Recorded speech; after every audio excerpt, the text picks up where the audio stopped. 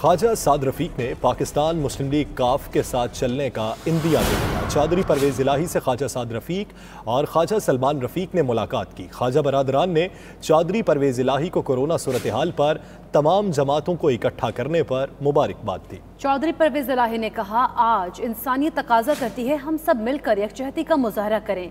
साद रफीक बोले चौधरी खानदान से पुराना ताल्लुक है, जिसे आगे लेकर चलना चाहते हैं।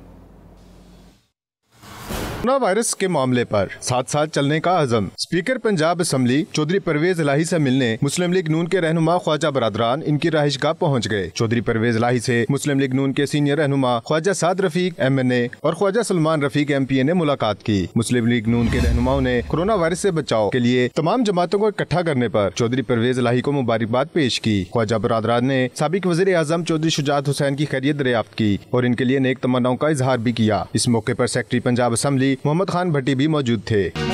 मौके पर चौधरी परवेज लाही का कहना था, कोरोना जैसी मुजीमत से निपटने के लिए सियासत को एक तरफ़ रखकर हम सबने बहसीत कौम मिलकर इसका मुकाबला करना है। इन्होंने कहा कि आज इंसानियत तकाजा करती है कि हम सब मिलकर यकजहती का मुजाहरा करें। खोजा साद रफीक ने कहा कि चौधरी खादान से हमारा पुराना ताल्लुक है। इस दरीना ताल्लुक को हम आगे लेकर चलना चाहते हैं। इस मौके पर कोरोना वायरस के खिलाफ की जाने वाली कोशिशों में मिलकर चलने का अजम का इजहार किया गया। Mian Shahid Nadeem, ninety news, Lahore.